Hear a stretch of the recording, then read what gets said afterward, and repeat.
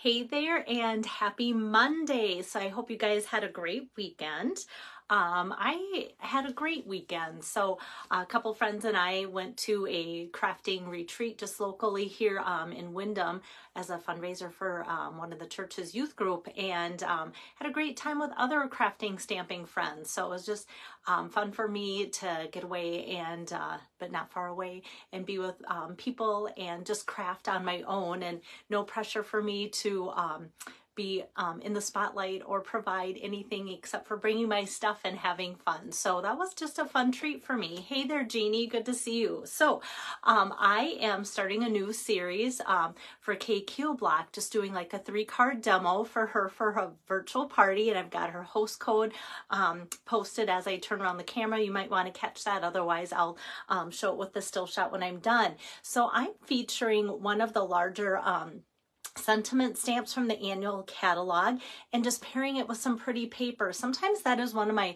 favorite things to do and I like to show people that um, just to give you guys some inspiration for the layout and that you can take like just your regular word stamps. And a lot of you will say okay I need word stamps. Um, what do I do once I get my word stamps? Because we all know um, word stamps are what makes your cards very versatile for so many different occasions whether it be birthday anniversary graduation coming up and so many other sentiments. So by showing you a card like this, hopefully you can think outside the box and find other ways that you can do, um, you know, that too. So um, let's see. Um, let's see. Oh, I'm wondering. Um, hold on one second. My iPad, um, um, I had to kind of reset it. So we'll see here if, um, if I can get this going here. Sorry about that. Otherwise, I tell you what, like I say, I'm not going to um, um, do too much to make it um, miserable for you guys. Um, let's see. It's either going to go or it's not. Okay, I'm not going to worry about that. I'm going to check my camera for um, for comments. So if you guys have questions or comments, know that I'll be checking. I just can't see it on my iPad today, and that's all right. All right, so like I said, here we are with card number one for Kay, and um, I love all the hues of the pool party, balmy blue, the navy together with this pretty, pretty paper here um, by the bay. So um, yeah, Lois, I'm so glad you're on here because I think you kind of like blue coloring too, if I remember right. So um, this kind of brings in a whole bunch of different flavors of blue if, if colors could have um, flavors. there we go. All right, so this Good Feelings is a fun stamp set for the fact that I love um, uh, stamp sets that have nice, big, bold images. And I've used some of these before for you and I'm like, oh, this is just fun. Like sunshine makes me happy. So I gravitated towards something like this today. And so the good feelings comes from the annual catalog. Um, so the annual catalog cover this one here on page 18. So you can see all sorts of um, fun samples that they've done there too on that page. And then the other um, products like the papers and things like that, um, those are featured in the By the Bay um, kind of suite or collection, Seaside Bay um, suite of products. So I'm pulling in some of those pretty papers, and I've used some of these before for you guys, pulling in that balmy blue and white variegated ribbon. And then I'm also showing the flat adhesive back pearls, which have been very popular too, so that you can kind of get a gist for sizing on a card, what it truly looks like. I know they're good at pointing out that um, and then kind of um, like how flat are they or not flat or whatever. So that's why i like to show you some of these products um, on these videos too to give you an idea of that. And then um, so i don't forget because as i get going i am going to use some blending brushes. And i've really enjoyed using the small blending brushes and they're on page 67 of the mini catalog. And i put them right in this exact holder too and i love having them like at the ready that way. And then after i rinse and wash them out. This um, little uh, storage unit too is really nice because if they're not fully dried, um, when I put them in there, it gives them a great way to air dry without touching each other too. So um, I like both of those products. So today I'm using the small blending brushes. I know the larger ones have been around for a while and both sizes, like say you only had small blending brushes, they will fit in all of these spaces. Say you only had large, or the regular normal ones that came out first of the blending brushes, they will fit in all of these spaces too. So I like to let you know that too about the product. So let me get started here and um, my color palette, like I said, is Pool Party, Balmy Blue, pulling in some of that By the Bay um, paper here, and then just some basic white and even a little bit of vellum. I used that, I think, just last week. Hey there, Norma. So it's fun to just uh, find that again and bring that out. So um, let me start by taking my Night of Navy ink pad here and um, my sentiment. I'm just so happy for you. And I'm going to ink that up here, tap that all around, and put that on some basic white cardstock here. So isn't that fun how bold that gets? I love it. And um, a lot of times I don't use my Stamparatus, um, but I do. Um, it's not that I don't use it, but a lot of times I don't because I feel like I've been stamping for so many years. I kind of get the gist of the tapping on the ink and a good press. But um, sometimes with bigger, bolder images like this, the um, hi there, Renee. The Stamparatus is great for um, being able to give you a second chance if your image doesn't seem that bold or doesn't quite get all the ink the way you want it. So um, I like to tell you guys that for that reason. So um, what I'm going to do now is um, take out my um, cut and emboss machine and with the vellum piece, I'm going to be using my deckled rectangle dies. And then um, what I'm going to set uh, cut my sentiment out with is the radiating stitches dies. And the radiating stitches dies is from that online exclusive lineup of products that um, they've just given us this month of March. So that's where those things are coming from. So let me bring my machine over here too to you and let me put my deckled um, frame on first. I just got this out and um, it's amazing how like in just a matter of a couple days um, how many li little scratches it can get on there already. But it's so nice and flat. Isn't that like just fun? It's like it's like if a cut and emboss machine cutting plate could have a new car smell so I love it when it's so flat all right so we've got to the deckled oops let me hold it up so you can see the vellum cardstock with the deckled edge there and then let's put this through. Um, I'm just so happy for you. And then this is that radiating dies um, frame that I'm going to put on there too. So just put that through like so. And then that'll be it for die cutting. Then we can do the fun part of assembling. Alrighty set that aside here. And this is what I love about the radiating dies. They kind of just radiate sunshine. How fun is that? Love it. Okay. And hi there, Pauline. Good to see you on here and Julie. Um, all right, so let me now grab a piece of scratch paper. I'm going to show you what I'm going to do with these small blending brushes. Um, so you can see here, there's different colors here with my background paper. And so I wanted to incorporate that with my radiating die. So I'm going to first open up my um, Pool Party ink pad here. Now it's got more of a, a greenish tint, but still underlying blue. And so I'm just going to like counterclockwise put that on my ink pad. Um, not too much because I just kind of want to see like, okay, how much do I have going on here? Because we all know our ink pads can be super juicy some days and not so much other days. So it's easy to always go back and add, you know, some on there too, like so. So that's going to just catch those edges. And as you can tell, um, then it kind of just highlights the radiating um, die images, like those little hash marks on there. So that's all I'm going to do with that one. And then I'm going to open up, oh, look at my little ladybug in here. They love me when it warms up. um, Balmy Blue. And that's uh, more of that light blue color. So I'm just going to do that same thing here. And then I kind of want to go over my paper to make sure that I don't have any saturated parts there. Usually I will start kind of circling over the edge of my paper as I go, but this I'm just going to put on the middle kind of heavier and lighter in different spots. So I don't want to mix it with my um, pool party at all.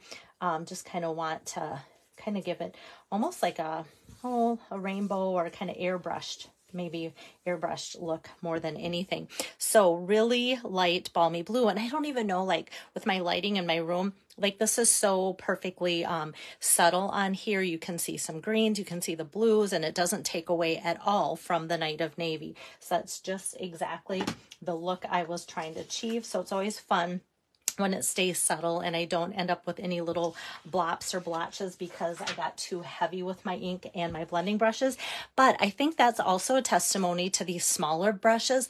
I feel, and I know everybody has their preference, but I feel like I have a little bit more control with those, um, with the smaller ones. Um, so maybe that's it. I don't know. Maybe it's just a good day. All right. So um, what I have here for my card base is the pool party opening this way today. So um, this finish size and this five and a half by four and a quarter.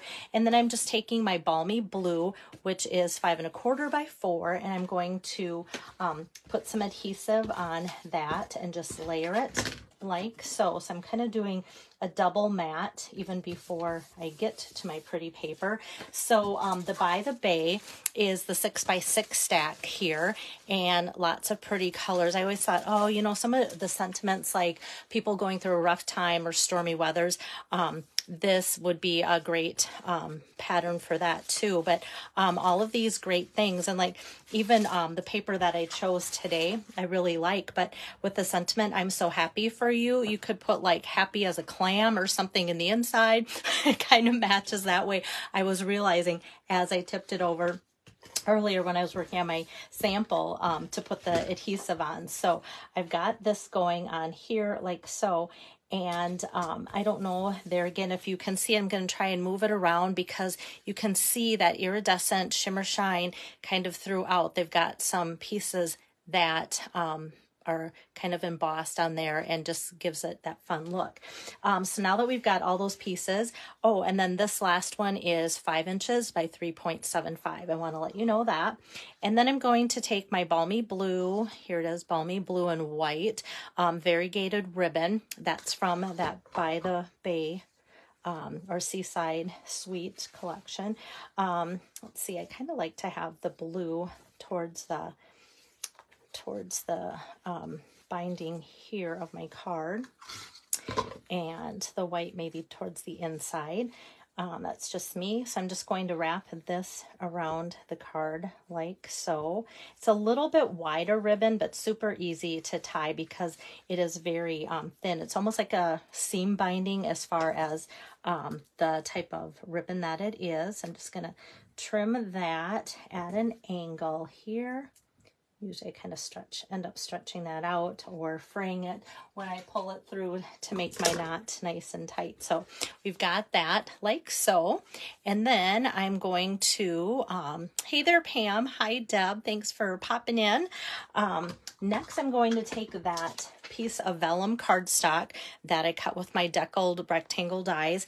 And like any time I use my, um, my uh, vellum, I have to make sure that I'm not getting the adhesive anywhere where it's going to show.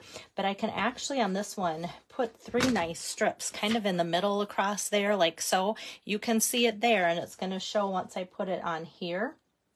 But um, with this, um, because of the different kind of um, emboss there, it's not too bad, but I know I'm going to pop up my sentiment on there and that's going to cover up all those strips. So today I can be pretty generous and not worry too much about the placement of my adhesive there on my vellum for you guys. So then I'm just going to put four dimensionals on there quick. Hi there, Joyce. And then with that, I can just kind of center that over that piece of vellum. Um, I almost thought about putting like a Night of Navy um, border, just another mat, but it seemed too dark and heavy. And maybe my brain is into spring mode already or something. And I just like the light colors that the balmy blue and pool party looked together. So I didn't really want to bring in any more night of navy, just um, the basis of the sentiment, kind of coordinating that, and then those blends to put the other two colors on top of it. So I like how light um, the card turned out for that. And that's why I went with vellum instead of another color behind there, just to kind of keep things light and airy. So then um, for my embellishments today, I'm going to pull out these flat adhesive back pearls. So you can see that those are kind of iridescent too. And of course, Stampin' Up! plan that to go with that paper perfectly. And I'm going to kind of try and hold these sideways for the camera a little bit so you can kind of see like how flat or not flat they are for mailing. So, you know, there's some, you know, puff to it, but um, but not and not completely flat, but they're not terrible like for mailing. I know a lot of people like to have that for consideration. So I'm just going to put one up in the corner and then one going down, kind of just spacing that apart, and then one off to the side here. So we're just going to kind of make a triangle frame up in the corner of those and then that kind of just pairs everything so nice and neatly together so that's going to be my um, only embellishment besides the ribbon for the card and then for the inside, I'm going to go right back to that same good feeling stamp set. And I've put the hip hip um, stamp and the hooray stamp um, together on one block here and put that together. So you can tell the hip hips one stamp and then the hooray I on purpose um, put that at an angle just because it makes it look more exciting, I think, to do that. so that's why I did that. And I'm not going to add any kind of image, um, just kind of letting the paper and the excitement of the big font in the words today just do itself um, for this card. So that I'm just going to put inside and my white um, piece here is four inches by five and a quarter. And I'm just going to kind of, oh, I like to let people know this little tip, and maybe you guys know that. Like, I feel like um, my ribbon's just off going this way a little bit. And so instead of trying to pull it, risk tearing my cardstock, I just kind of squeeze this towards me. And then it's just really easy to just move that. So that's what I do instead of, like I said, trying to foil or um, you know, what something that looks nice, um, foil my plans that way.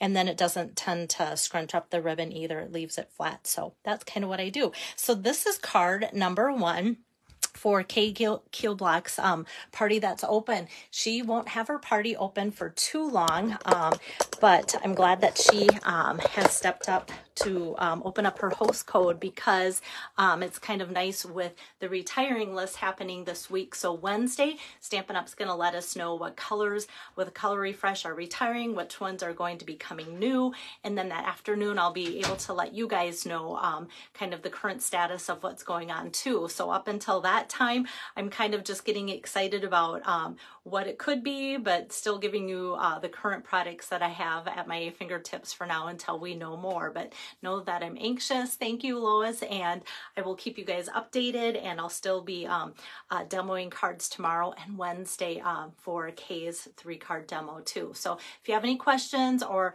um, need any help ordering, please let me know. If you min um, order minimum $25 um, towards anything from any of the catalogs using our host code, you'll get the three cards that I'm making for free. So keep that in mind if there's anything you need to help her out, and I'll send those out as a thank you from both of us. Take care. Have a good evening. Bye bye.